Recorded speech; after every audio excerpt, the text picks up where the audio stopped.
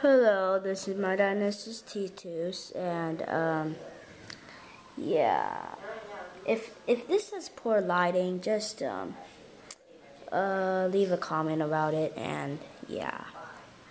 Well, he's very mild. He doesn't do much, especially right now, because he just came out of hibernating, hibernation, and he's very hungry, so he's just eating a banana and minding his own business.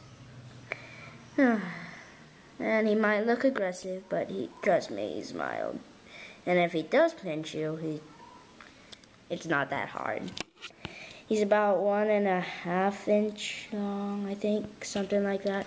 I don't really have a ruler, so. Mm -hmm. And there's a female in here. I just don't know where she is, because she is still hibernating. Well, this is my Dynastes tityus, and say hi. Well, anyway, bye.